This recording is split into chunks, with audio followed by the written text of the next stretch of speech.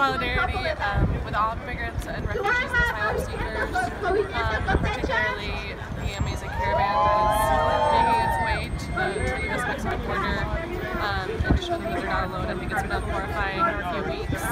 Um, and Trump and his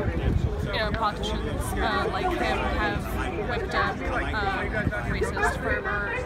um, and the fact that they're sending troops to the border even when they're you know two months away I think is really telling. I think they're really sort of gearing up for a fight. I think we have to be on war footing um, and I think things like this are a first step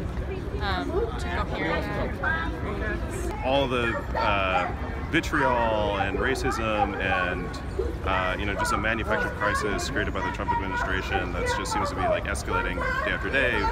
Obviously, trying to make it a midterm issue, we felt like it was important to you know express solidarity for you know the uh, in particular the, the immigrant caravan, uh, but you know again re uh, reiterating our support for immigrants within New York City and hopefully you know this uh, this action kind of echoes out throughout the country and just you know, again expressing our support for immigrants, you know, being able to come into uh, you know, our country seeking a better life.